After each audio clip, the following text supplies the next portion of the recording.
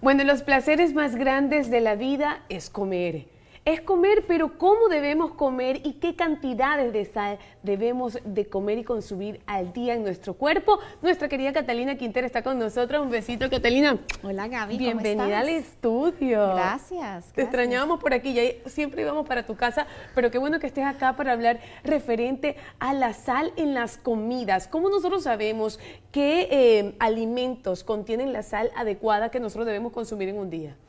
Bueno, hablamos mucho sobre la grasa, el azúcar, pero no hablamos mucho de la sal. Mm. Hay que controlar la sal. Muchos alimentos son altos en sal y el ser humano tiene que comer alrededor de 2.300 a 2.500 miligramos, que equivale como una cucharadita al día de sal. Una cucharadita al día de sal y tenemos acá ciertos ejemplos de alimentos que nosotros normalmente seleccionamos por esto del tiempo, porque es más rápido, pero en ocasiones obviamos el chequear el sodio. Sí.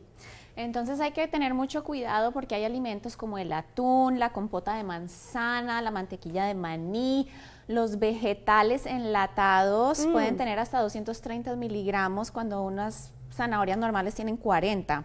Eh, entonces hay que tener mucho cuidado. Las sopas enlatadas tienen mucho sal, así que entre más lo puedas hacer en casa, mucho mejor. Es decir, aquellas personas que dicen voy a cenar una sopita, pero esas sopas que vienen ya en cartón, que ya están previamente hechas y tienen un sodio súper alto, allí piensa que están comiendo saludable porque es algo sano, digamos un caldito de pollo, pero resulta que estás eh, literalmente intoxicando tu cuerpo con la sal y al mismo tiempo logrando una retención de líquido.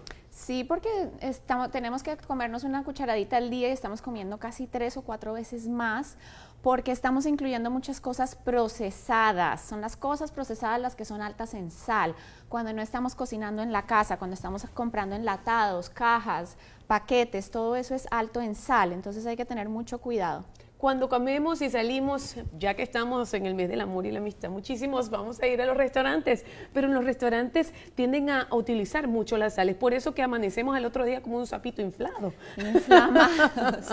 ¿Qué pasa? Las personas con sobrepeso que comen mucha sal traen mucho más fluido a la sangre y el corazón tiene que trabajar más duro para mover esa sangre y ahí es cuando la presión arterial se sube, entonces vienen los ataques al corazón, los problemas del corazón, las personas que no tienen sobrepeso se empiezan a hinchar de los tobillos, ojeras, entonces y la piel seca.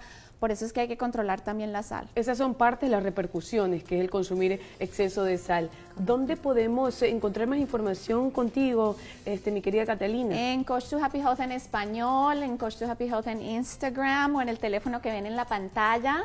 Eh, pueden contactarme para ayudarlas con nutrición, con ejercicio, pero controlen su sal en sus casas, no echen la sal en, la, la, mesa, quítenlo de ahí, si la receta dice una cucharadita, hagan media y después le pueden echar un poquito más hagan sazones con limón, con hierbas, que no sea siempre la sal lo que estén condimentando. Bueno, eso es muy importante, así que ya saben, la sal, a reducir la sal por nuestro corazón. Recuerden que es el mes del amor y la amistad y también del cuidado de nuestro querido corazón. Catalina Quintero, te queremos muchísimo y gracias por traer esta información tan grata e importante para todos nuestros queridos televidentes. Así que la sal usted la agarra de la mesa y la lleva para otro lado bien lejos para que deje de comer con tanta sal. Para afuera. para afuera. Así que continuamos con muchísimo más aquí en De Latinos.